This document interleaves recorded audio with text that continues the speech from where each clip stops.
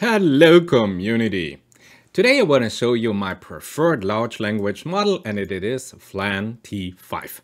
So what is FLAN T5? As you can see here on November 23rd, 2022, Google released a new publication scaling instruction fine-tuned language models. And they also released here a FLAN T5. And if you want to read the paper, I highly recommend it. They tell you all the details about it. But you know what? I just want to program it. I want to show you how to use this model. And maybe even have some thought about the upcoming GPT-4. So here we go. What we do, we have a runtime. We change the runtime to zero to leave everybody else who's doing research, the GPU. So remember, we are running here on a CPU only. And just to show you this, that my CPU count is two. So we are really at the smallest CPU available. So what we do, we install our transformers. Yes, take some time, take some time. Transformers, yes, yes, yes, from Hugging Face. So how do you start if you have a new language model? Well, easy. You go to Hugging Face and load the code for your inference. We do not want to train the model, we would need a high infrastructure for this. Now, uh, we don't have Hopper, NVIDIA or anything at all. We just want to use it. So let's do this. Hugging Face, Transformers, Flan T5. Here we go. Beautiful. And you can see Hugging Face Flan T5 was released by the paper I just showed you. And you can directly use it. This is the code for inference. So we say copy. We go back. Yes, you know, this is already here. And we say thank you. And now, yeah, let's show you that it's really gone. Yes, I know. And then we have here our prompt saying, um, explain artificial intelligence. That would be nice. Okay, let's do this. Execute this. We're running here, of course, as you see, with the smallest available FLAN model. So if you want to run, we are sitting on a bicycle and we are racing against a Ferrari, high performance tuned cars. So you have an idea how we can optimize this further. But let's go with the default. I want to show you the result. If you print then the result, tokenizer, what is the result? You see the model is rather minimum. We only have 300 megabyte model that we download. And artificial intelligence is a tool used to describe the behavior of a person. An interesting version. I think a very short version. Maybe we need some more meat on the bone. So you might want a longer output. So the question is, how can you optimize this? Here on a free Colab notebook. And there are a lot of things you can do. Let me show you. This are my personal set of parameters. I'm experimenting with this only for less than a week. So please, I share my knowledge with you. At first, I go for a model that has 3 gigabytes. This is the large model. This is the largest model I can load on a free Colab notebook. You remember we have 12 gigabyte RAM, CPU RAM. I do not use a GPU. And there is an XL model from Flan T5, but this would be already 10 gigabyte to download and it crashes immediately on my memory. So if you go with large, this is the largest model you can use on a free Colab notebook. 3 gigabytes in about 2 minutes, beautiful. We then have a look at the model configuration that we are downloading, but it is the same model you used with the transformer. You have your model, sequence to sequence language model from some pre-trained model.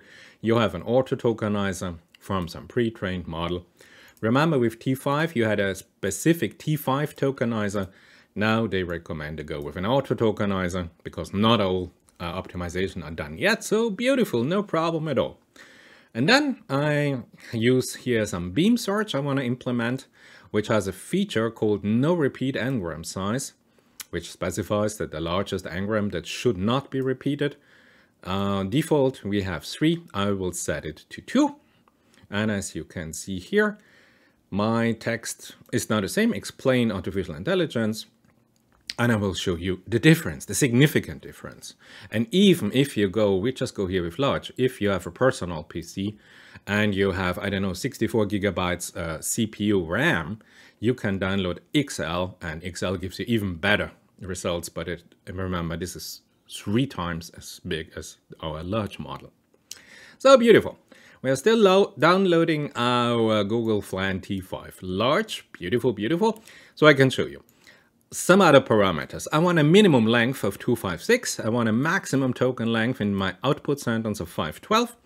I want to increase the length penalty. I want a little bit longer output. So I go from 1 to 2.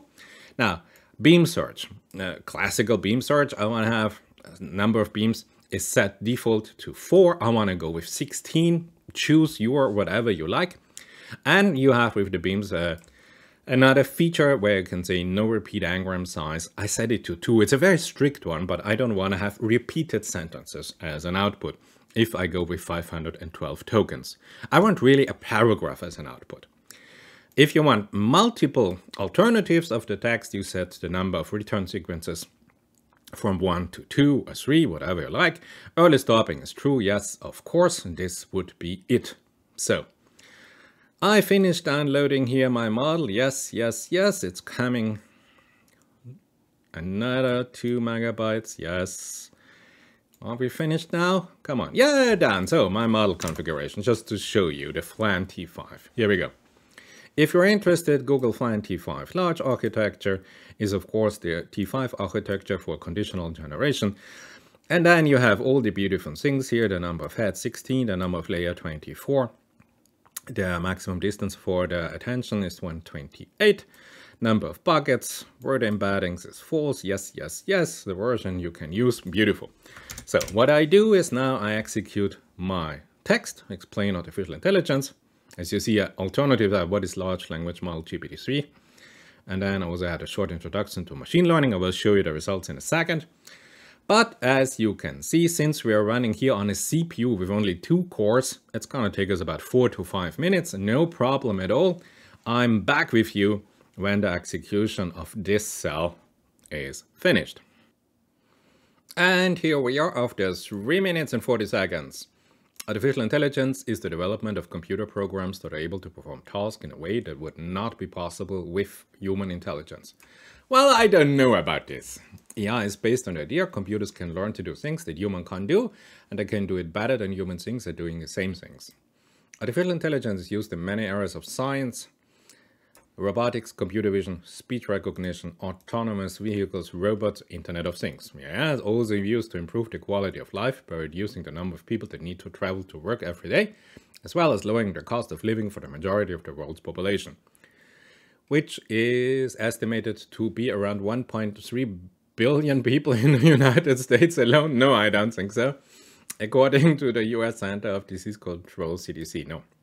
AI has the potential to revolutionize many aspects in life, combine how we shop, the types of food we eat, where we sleep, what kind of music we listen to, the books we read.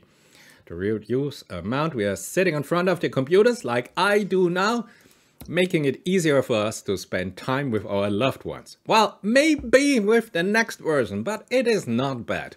Just to show you, I did it before, and you see it is the same text. Now, for GPT-3, is a large language model based on a grammatic structure of tetragrammatically invariant languages, so the English, French, German, Italian, Spanish, Portuguese. Is developed. University of California. Okay, I thought it was another company, but okay. Is to model the structure and semantic of large-scale natural language processing system. Yeah, it's been used in linguistic research for more than 20 years used by linguists, computer scientists, researchers. Well, language model, yeah, but large language model has not have not been used for more than 20 years. So you see the mistake here. It just takes the language model, but the scientific term is large language model. So he splits it up into token and looks for language model, and then we get such a result. Okay, in computer science, teaching and learning and research development of computer-assisted learning, Cadillac, I have no idea, so it's a, it's a core computer assistant reasoning, artificial intelligence, and computer programming languages. Not so bad, not so bad. Machine learning, here's the text for you if you want to read it. So you got really significant text out of it. You have to be careful, but it is neutral. It is more or less to the point. Sometimes there are information in there. Uh, estimated 1.3 billion people in the US alone This would be a surprise to me, also to the United States, I suppose. So you see, but in general, I found it to be the most reliable, neutral, non-polarizing system you can ask here some text, some short, uh, few shot learning example if you want. So give it a try yourself. You see, these are my optimization I apply. And with this simple line of codes, you can get amazing results if you compare this to the standard output that is provided. If you do not use the reasonable size of the system with a little bit of fine tuning your code. I say thank you, I hope you enjoyed it, and I see you in my next video.